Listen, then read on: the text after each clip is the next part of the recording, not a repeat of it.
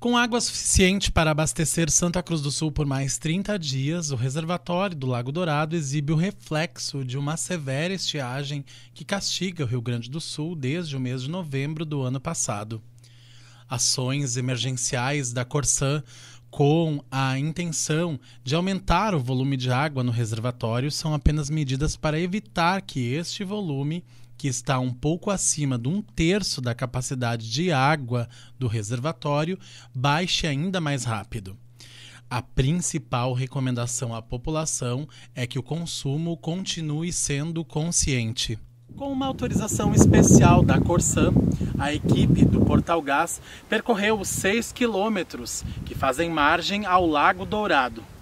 Neste trajeto, que muitos não conseguem acompanhar, o que se percebe é a falta de água, o baixo nível que o reservatório se encontra e a poluição. Em vários trechos, há presenças de garrafas plásticas, lata, pneus e restos de árvores e troncos que acabaram entrando no leito do Lago Dourado. De acordo com a Corsan, a poluição encontrada nas áreas secas do Lago Dourado é fruto da ação de visitantes do lago no período em que o reservatório ainda estava aberto, há mais de um ano. A pesca irregular e a prática de trilhas no local são explicações para justificar a presença de garrafas PET, pneus e lata nas margens do reservatório.